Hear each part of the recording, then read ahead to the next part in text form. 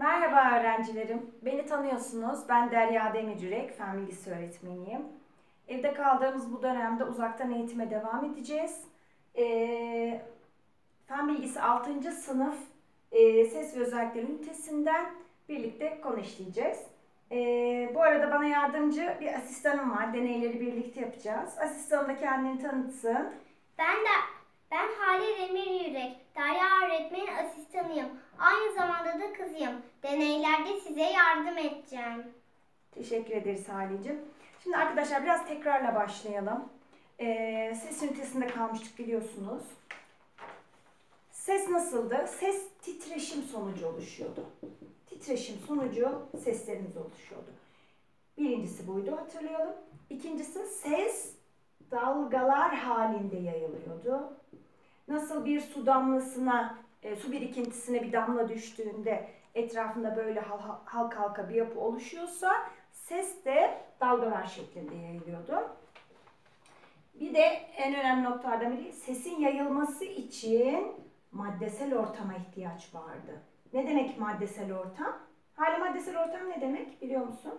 Yok bilmiyorum. Katı, sıvı, gaz. Yani uzayda, boşlukta ses yayılmaz. Ama maddesel ortamda katıda, sıvıda, gazda ses yayılır. Şimdi bunları kısaca bir hatırladık. Ee, silelim şimdi. Yine önemli bir maddemizden devam edelim. Ses bir enerjidir. Ses bir enerjidir ve başka enerjilere dönüşebilir. Şimdi ses titreşimler sonucu oluşur dedik. Ses dalgalar halinde yayılır dedik. Sesin yayılması için maddesel ortam var dedik. Ve ses bir enerjidir dedik. Zaten bunları daha önce görmüştük. Ben size anlatmıştım bunları. Bunları şöyle basit bir deneyle mesela Halecim bize bir titreşim oluştur.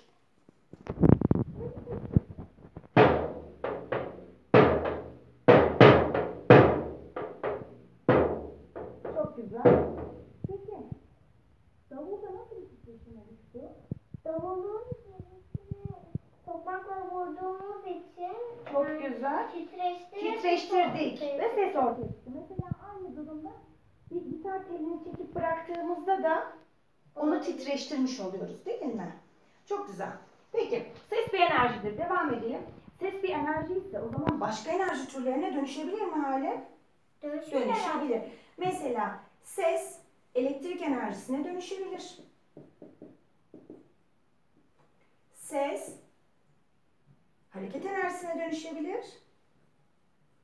Ve ses ısı enerjisine dönüşebilir. Şimdi sesi bize bir elektrik enerjisine dönüştür bakalım. Mikrofonumuz vardı değil mi? Var. Evet. Bize bir şarkı söyle bakalım. Kurbağa baktı öküze. Dedi sonra kendince ben de ona benzerim. Nefes alır şişirim. Şiştirir Evet, teşekkür ediyoruz. Yani sesi elektriğe mikrofon dönüştürebiliyor. Peki sesi harekete nasıl dönüştüreceğiz? Bunda da yine bir deney yapalım. Evet, asistanım deney malzemelerini getirebilirsin.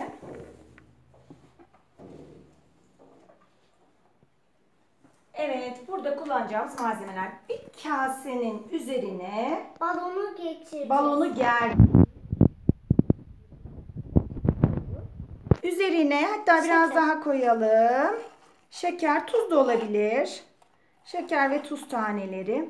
Şimdi buna yüksek sesle Hı. şöyle biraz daha aşağıya. Sen yukarıda kalabilirsin. Evet, bir A de bakalım Halecim. Evet. Bakın şeker tanelerin titreştiğini görüyorsunuz. Şeker tanelerin titreşmesi ses enerjisinin hareket enerjisine dönüştüğünü gösteriyor. Gerçekten de çok, çok güzel titreşim. Evet, bir kere daha yap. Tamam, teşekkür ederiz Halecim. Şimdi yine devam edelim. Ses enerjisinin hareket enerjisine dönüşümüne örnekler vereceğim. Mesela eee, uçaklar alçaktan uçtuğunda evlerin pencere camları titriyor. Bu sesin hareket enerjisine dönüşümünü gösterin. Yine bir ses bombası patlayınca camlar kırılıyor. O da aynı şekilde. Sonra böbrek taşını tedavi etmek için ses dalgasından yararlanılıyor. Ve bir örnek daha verelim. Ee, hoparlörün önüne bir mum koyduğumuzda mum mum ışığının titreştiğini görüyoruz. Yani bu anlattığım örneklerin hepsi sesin harekete dönüşümünü gösteriyor. Son olarak ses ısıya da dönüşebiliyor. Nasıl ısıya dönüşebiliyor? Ses e, biliyorsunuz titreşimler sonucu havada yayılıyor ya da farklı maddelerde katıda, sıvıda, gazda yayılabiliyor. Ses titreşerek yayıldığı için maddelere çarpıyor ve maddelerin ısınmasına neden oluyor. Yani sesli ortamlarda maddeler daha sıcaktır.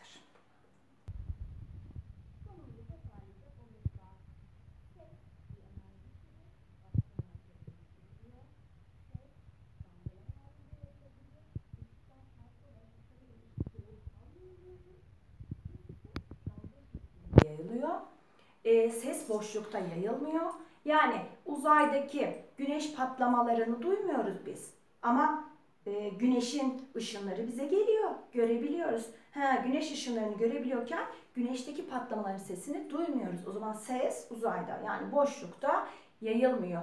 E, boşluk deyince hem uzayı düşüneceğiz hem de vakumlu ortamı. Yani havası çekilmiş bir ortamda mesela bir çalar saat varsa onun sesini de duyamayız. Bazen böyle sorular çıkıyor çocuklar. Bu konuda dikkat edelim.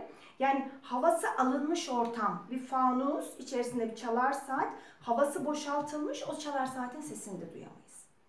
Bunu da bilgilerimize ekleyelim. Ee, sesin enerji dönüşümünü bir daha tekrar edeyim. Ses bir enerjiydi. Elektrik enerjisine dönüşebiliyordu. Hareket enerjisine dönüşebiliyordu. ısı enerjisine dönüşebiliyordu. Umarım faydalı olmuştur bu video. Videomuzun sonunda size biraz e, öneride bulunacağım. Biliyorsunuz bu süreçte evde kalmamız gerekiyor. E, evde kalırken de vaktimizi güzel değerlendirelim. Mesela benim şöyle bir kitabım var. Rukiye hatırlamıştır. 6D'den Rukiye vermişti bana. Ben birazdan video bitince bu kitabı okuyacağım. Öğrencilere de tavsiyem e, zamanınızı güzel değerlendirin. Mümkün olduğunca bol bol okumaya çalışın. Kendinize iyi bakın. Hepinizi çok seviyorum. Tam e, videomuzu bitirirken Hale bize güzel bir deney yapacak. Onu izleyelim, bitirelim.